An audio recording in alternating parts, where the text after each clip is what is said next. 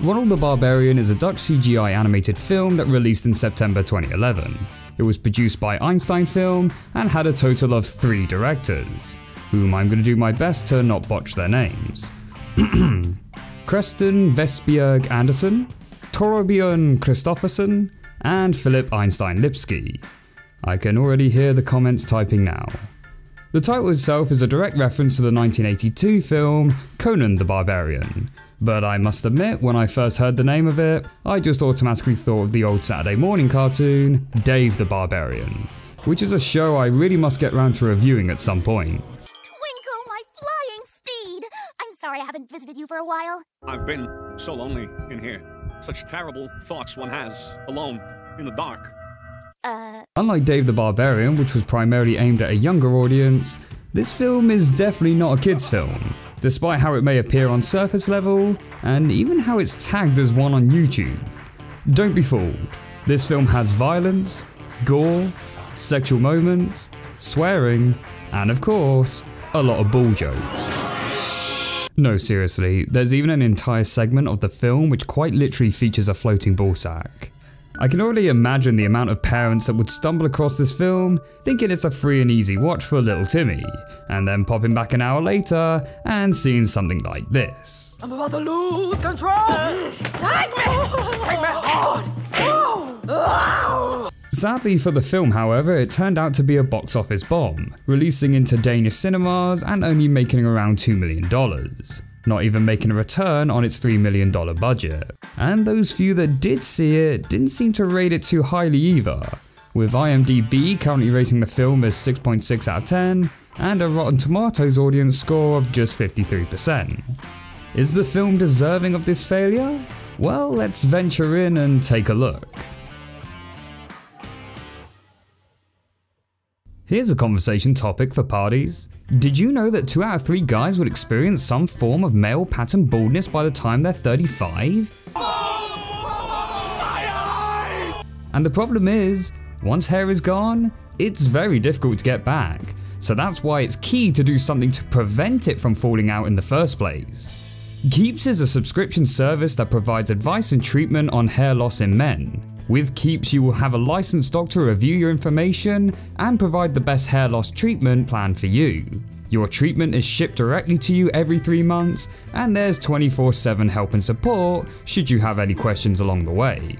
But remember, the treatment typically takes between 4 to 6 months to take effect, so you want to act now before you notice the hair falling out. If you're ready to take action and prevent hair loss, go to keeps.com forward slash Steve Reviews, or click the link in the description to get 50% off your first order of hair loss treatment. That's keeps.com forward slash Steve Reviews. Thank you for listening, guys. Now back to the review. The film starts off by telling us the legendary tale of Kron and how he originally freed humanity from their demon overlords. During this battle, Kron suffered a fatal wound and died seven days later, and the people drank his blood in order to gain his powers. Which includes his dick apparently. I gotta say though, it's a pretty strong opening for the film. The animation is looking nice, the gore is looking goresome, and I even like the visual of Kron dying in his victory pose.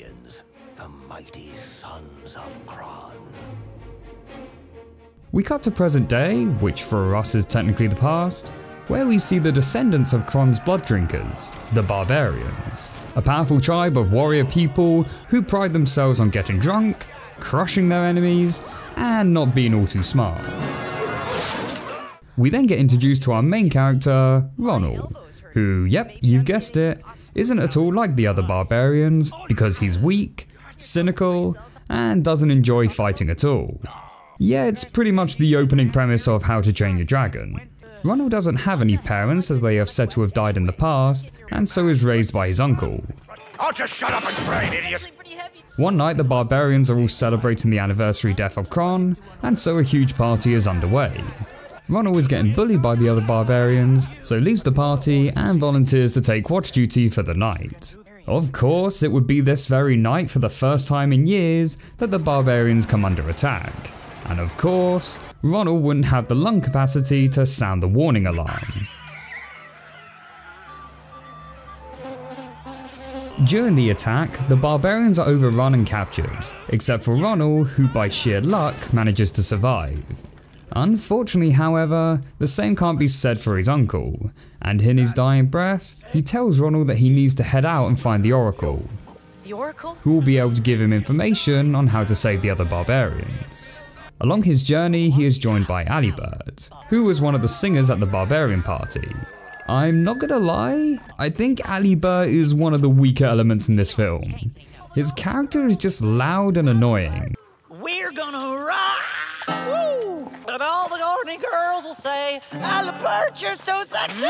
The two come across the Oracle, All right, that's it. I'm done shitting. Now get to wiping. Go easy on my goddamn hemorrhoids. Who tells them about the warriors who took the barbarians. Turns out that they're led by a guy called Lord Volcazar, who seeks to become ruler of the lands, and the only way to defeat Lord Volcazar is to find Kron's legendary sword. Along the way, they then meet Zandra, a strong female warrior who needs someone to defeat her in a duel so she can marry them. The problem is, she's always too strong for anyone that duels her, so she agrees to help rescue the barbarians in the hope that one of them will be able to defeat her. The trio enter a pub in order to find a guide who could lead them to Kron's sword. And is that guy caressing a goat? They meet an elf named Elric, The voice of the wind is a light in the evening sun. who I honestly think is my favourite character in the film. He's just so animated and flamboyant, and there's just so much gay euphemism around him. Let me penetrate your aura. Why? Corma min lindua caelia. Plus, I also think he gets the best one liners. My elf soul senses that it is far, far, Isn't that it? fairly close by. Destiny is on our side. Our heroes enter into the Elf Kingdom, where they need to get information from a book which can tell them where to find Kron's sword. The elves aren't too keen to let our heroes in, and so they need to figure out a way to sneak past the guards, in what is arguably the most ridiculous scene in the film, where Ronal uses an invisibility potion on himself, but there isn't quite enough of it to cover his entire body. And what part of his body do you think he was unable to cover? That's right, his groin.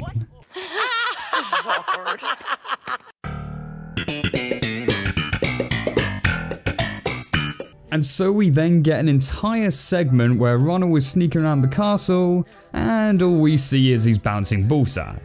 It is such a stupid, ridiculous moment, yet for some reason, I absolutely love it. It just feels so ludicrous and unnecessary, but it works. And I love to think of the animators that spent days, maybe even weeks, to perfect these bouncing nutsack physics. Oh, and uh, throughout part of the scene, they also play the Nutcracker song. Perfection. Christ, look at this elf statue.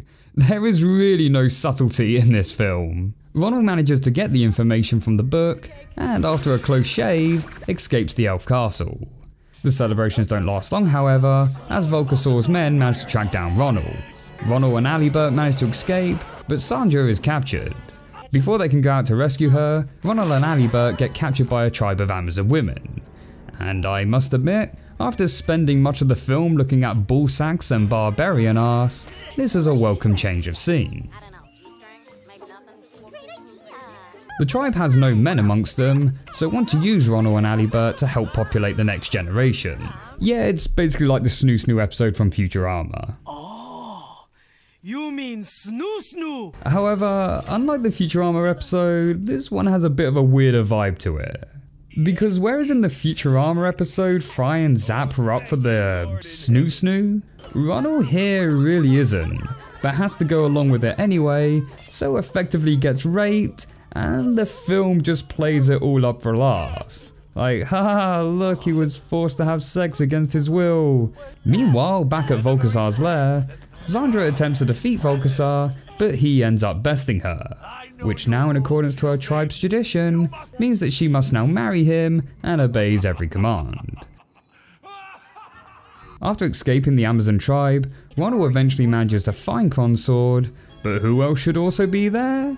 But Zandra. Ronal was captured and taken to Lord Volcazar's lair, where Volcazar needs the blood of every descendant from Kron in order to become a demon god just like the one Kron originally defeated. Though technically he doesn't have the blood of every descendant, as Ronal's uncle died earlier on in the film, but whatever. Through dumb luck, Ronal manages to free the other barbarians, but unfortunately it's too late, as Volcazar manages to drink the blood and transform into the demon.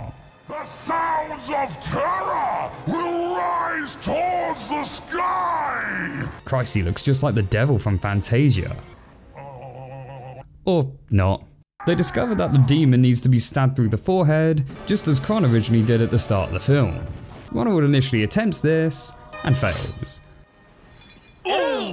But with the combined effort of the other barbarians and Zandra, Ronal succeeds, to which nothing happens?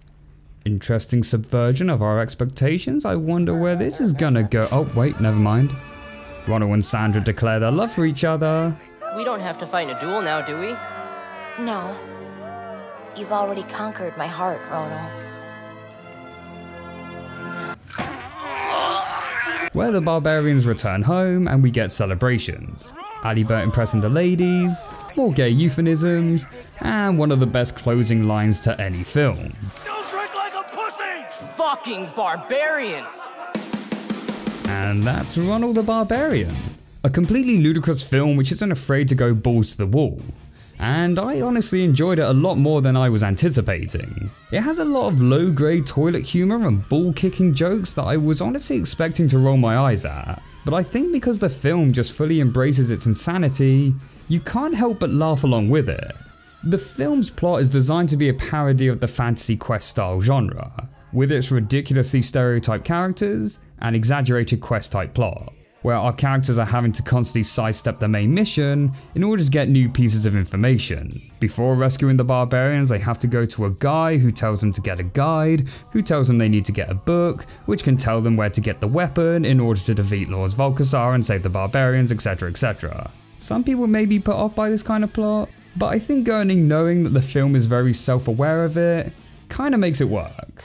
The animation is actually really nice, not only offering a lot of fluid movement and expression, but also a large amount of visual gags going on too.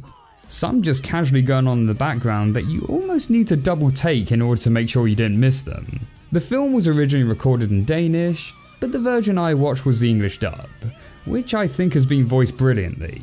They sing songs at parties! Parties?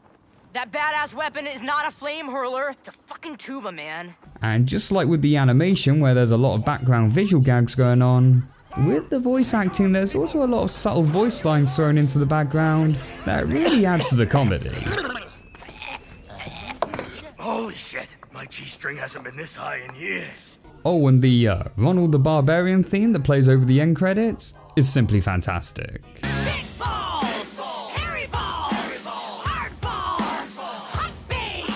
With all that praise being said, however, I can see where this film might have not scored so high, as although I did enjoy it, I was watching it free on YouTube, and I don't think the film is quite that high enough quality to justify paying a cinema ticket for. But as of now, the film is free to watch on YouTube, or Amazon Prime if you have that, so I do recommend you go check it out there. It's fun, frantic, and full of arse and balls. What more could you ask for?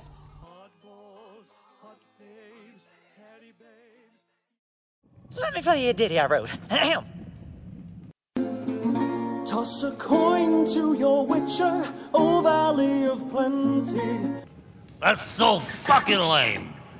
Oh well.